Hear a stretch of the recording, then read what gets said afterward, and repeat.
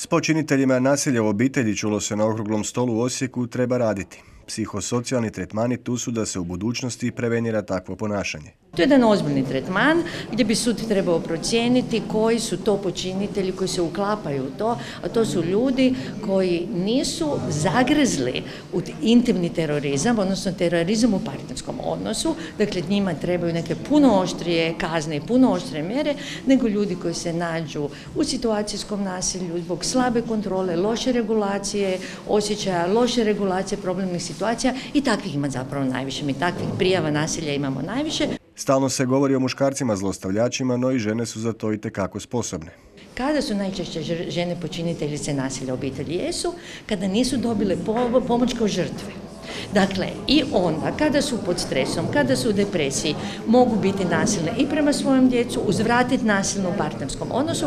Dakle, to je dakle, jedan aspekt o kojem i moramo voditi račune da je to nasilje postoji. Okrugli stol na temu uloge lokalne zajednice u promicanju psihosocijalnog tretmana počinitelja nasilja u obitelji organiziran u sklopu projekta Učimo nenasilna ponašanja. Stručni suradnici rade sa korisnicima, psihosocijalnu podršku, individualnu ili grupno. To je cilj projekta, znači da se njima pomogne. E, ciljne skupine koje su u projektu su žrtve obiteljskog nasilja, e, djeca bez odgovarajuće roditeljske skrbi i djeca s problemama u ponašanju i suma sumarum njihovi članovi obitelji. Znači da bi pojačali cijeli, cijeli efekt same psihosocijalne terapije. Pandemija je odnosno mjere zatvaranja povod rastu nasilja smatraju ovi stručnjaci.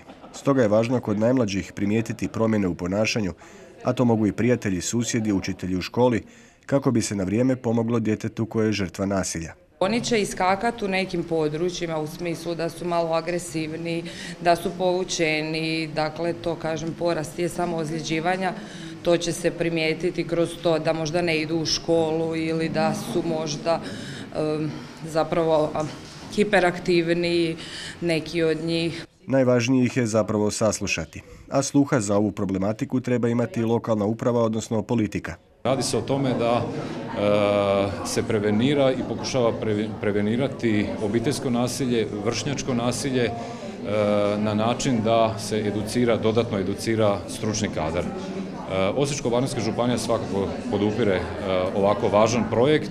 Projekt Učimo nenasilna ponašanja financiran je u 100% iznosu od unije i to u vrijednosti od 2,5 milijuna kuna.